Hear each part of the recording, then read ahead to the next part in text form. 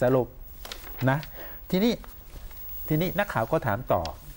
มันมีข่าวว่าอืม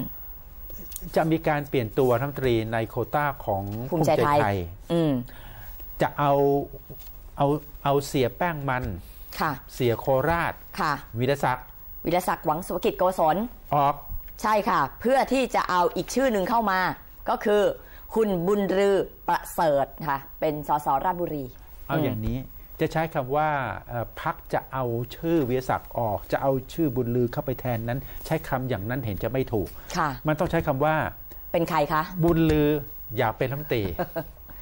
อยากเป็นรัฐมนตรีคำถามก็คือ แล้วจะเข้าไปแทนที่ใคร มันต้องมีคนออก ดังนั้นวิรศักดิ์ออกหน่อยได้ไหมเออครบปีหนึ่งแล้วนี่ค่ะวินเวียนกันหน่อยเอาเหรอ แล้วเขาคุยจบไหมอะอะนักข่าวก็เอาเอาประเด็นนี้ไปถาม หัวหน้าพักอะ หัวหน้าพักตอบอย่างไร ไปฟังเลยค่ะอืมถ้าเรานับเห็นมีข่าวว่าภูมิใจไทยเองก็อาจจะมีการสลับโครงรัฐมนตรีเปลี่ยนคนเหมือนกันนะอย่างล่าสุดมันชื่อคุณบุญลือมาแล้วเราก็ได้จริงไหมก็อยู่ในซองจดหมายจำไม่ได้แล้วมีจดหมายผิดซองนะคะ